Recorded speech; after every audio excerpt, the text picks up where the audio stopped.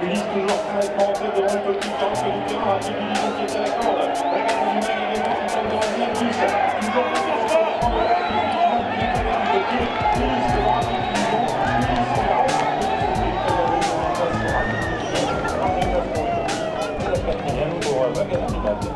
Thomas Lévesque est arrivé, il est des premiers à l'honneur et entoure Ulysse qui vient de remporter ce prix du Calvados.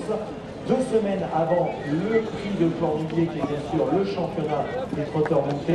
Thomas Ulysse, est-ce qu'aujourd'hui il a gagné son, son billet pour le Cornulier Ouais, vraiment aujourd'hui c'est sa plus belle course. Il a montré qu'il avait le niveau. Donc euh, je pense qu'on a une meilleure chance qu'avant la course. Quand- Tu peux revenir sur, sur les événements, tu es venu prendre la tête dans le premier tournant et ensuite tu as géré ta course en tête? Bah ouais, j'ai eu un gros problème, c'est en partant. Il, il était avec les faux départs, les reprises de départ. J'ai perdu 15 mètres, il s'est mis la tête entre les pattes et il a fait du surplace pendant, pendant 5-10 mètres et du coup je suis parti des 15 mètres derrière tout le monde. Et après j'ai dû faire un gros effort pour venir et non il fait une drôle de course aujourd'hui. Si tu avais le choix à monter euh, Caribet ou euh, Ulysse, lequel prendrais-tu? Sans parler du cœur. Sans parler du cœur, euh, c'est pas pareil. euh, Caribé est beaucoup plus endurci. Après, euh, le mien, on ne connaît pas ses limites à Ulysse. hein. donc, euh, je choisirais Ulysse parce qu'on ne connaît pas ses limites. Thierry fait encore une euh, super valeur. Oui, ben, Damien, on avait décidé de démarrer pour avoir le dos de, de Ulysse. Et c'est ce qu'il a fait. Le dernier tournant, il a eu un peu de mal. Mais il s'est bien relancé entre les lignes droites. C'est- C'est très bien. C'est quand même un, un cheval qui, qui donne toujours le meilleur de lui-même. C'est un amour de cheval finalement. Oui, je pense que des fois, il doit se donner plus, euh, peut-être à, à 110%. Il doit être à fond. quoi. Non, c'est un super cheval. La suite de son programme, ça passe par quoi? Euh, Il a, il a une autre course, euh, je crois que c'est dans trois semaines, je crois. Parce qu'il en avait une dans huit jours, mais c'est un 2002, euh, ça va pour lui convenir.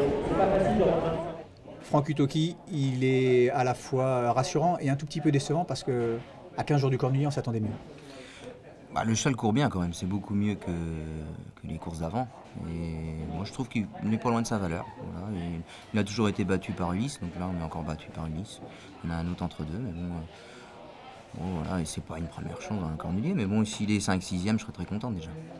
On confirme, tu seras bien sur, en selle sur Utoki euh, le jour du Cornulier. Ah oui, je- j'en ai pas d'autres à monter, donc euh, je vais monter Itoki. ouais. Par rapport, euh, par rapport au travail que, que j'ai, euh, Tu me les mets pas près aussi. Hein Tu me les mets pas près aussi. Non, mais il court bien, il court bien. voilà. À 3 de cela, c'est pas évident non plus. non mais le, si, si tu l'as dans la main, que tu, puisses, tu peux coller au Toki, Toki, je suis sur 3. t'es sur 3 ou tu luttes avec Rapide du DJ. C'est ce que je pense. C'est parce que tu restes à 2 au lieu après que tu fasses le tour à La 3. moyenne. C'était au minimum 3.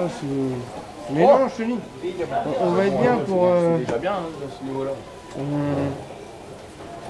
On, va être bien pour, euh, pour. Non, c'était après le 8 que ça me faisait chier, parce que c'est... Même s'il n'est pas en ballon, euh, c'est rare qu'on était quand même au galop après le 8. Quoi. Ouais, mais il avait besoin de se remettre là. Oui, parce qu'après j'ai vu au Canter, euh, au Canter après il était bien. Mathieu, qu'as-tu pensé de la prestation de Vagabond du Mag? Bon, je suis très content, il court très bien. À ce niveau-là, c'était pas évident de faire beaucoup mieux. Il était un petit peu froid, il manquait un peu de métier comme il faisait au début de, étant poulain. Mais pour le prochain coup, ça va aller. On s'est inquiété en montant. Bah oui, il était super froid même en descendant, il avait du mal à, à se mettre dans le collier. Mais il était un peu comme ça déjà étant poulain et ça va aller le prochain coup.